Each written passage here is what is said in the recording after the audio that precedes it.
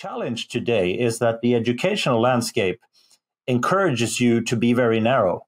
You know, you, you, you become more and more narrow and focused, and that's uh, has been the ideal. And of course, you need to specialize.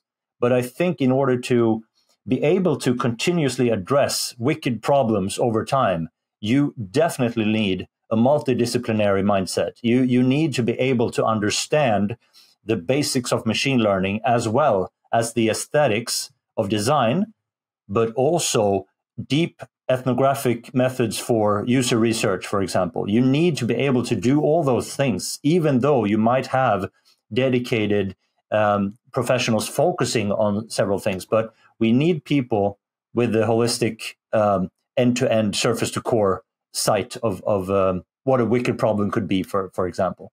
And currently, I think a lot of programs, they have become educational programs I'm, I'm talking about now. Mm-hmm. A lot of educational programs have been really narrowing in in order to produce very efficient, uh, you know, workers, knowledge workers in, in a very particular field. You're, you're encouraged to, to pick a profile and, and stick with that and maybe even go to a PhD. And then your subject is like super tiny. Mm-hmm. And, and uh, it's hard to, you know, it's easy to lose sight of the, the overall picture when you do mm-hmm. that.